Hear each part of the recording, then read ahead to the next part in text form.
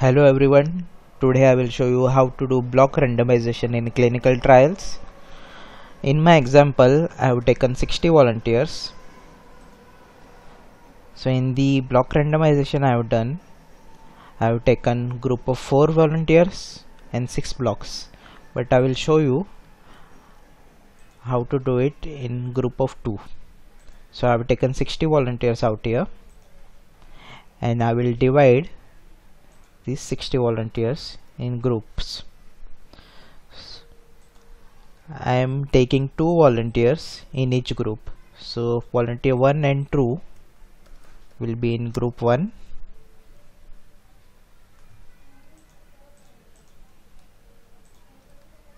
volunteer 3 and 4 will be in group 2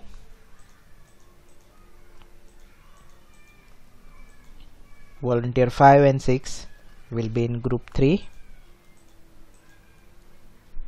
and so forth. So as there are 60 volunteers out here the total number of groups will be 30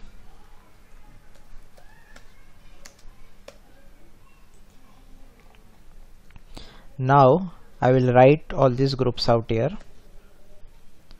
Group 1 to group 30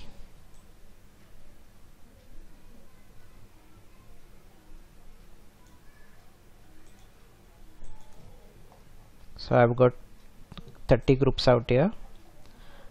And I will divide them in blocks.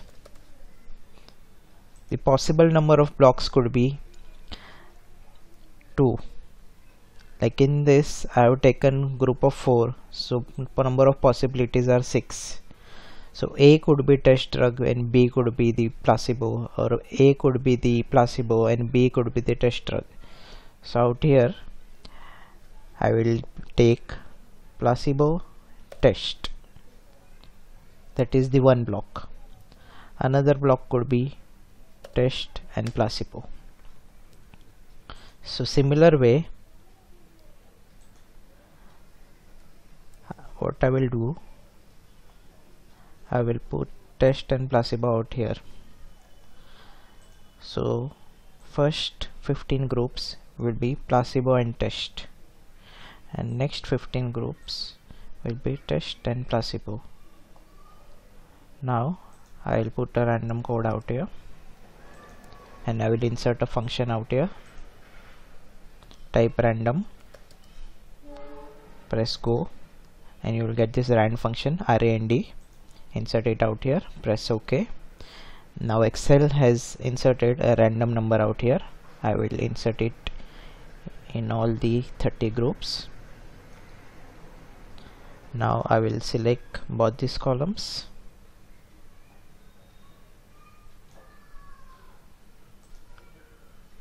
I will filter it. Now what I will do? I will sort this column the random numbers from smallest to largest. And as you will see I am sorting it to sort smallest to largest. The, even the blocks will get sorted. See I will show it again. First 15 groups are placebo and test. Next are test and placebo. And as I am arranging this smallest to largest it is getting randomized. See now group 1 is test and placebo. Group 2 is test placebo. And group 6 is placebo test. Group 7 is placebo test so no matter how many patients you are taking like for example if you are ending your study with 10 volunteers only so that is group 5 up to group, group 5 the number of test and placebo will remain the same. That is 5 5 test and 5 placebo groups. So according to this volunteer 1 will be test volunteer 2 will be placebo volunteer 3 will get test drug volunteer 4 will get placebo. Now I will come to volunteer 11 who will get placebo. Volunteer 12 will get test. Volunteer 13 will get placebo. Volunteer 14 will get test and so forth. So now all the volunteers are randomized in either test group or placebo group by block randomization. Block randomization is done out here with groups of two. That is by two possible blocks. Out here I have done the block randomization by group of four.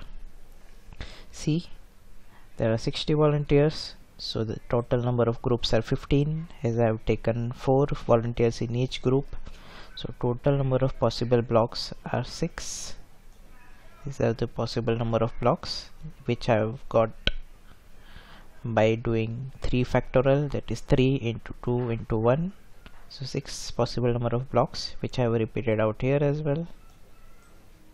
I have inserted the random function sorted it smallest to largest and the groups got randomized. As you can see out here volunteer number 1 will get A. Volunteer number 2 will get B. Volunteer number 3 will get B. Volunteer number 4 will also get A. So it is randomized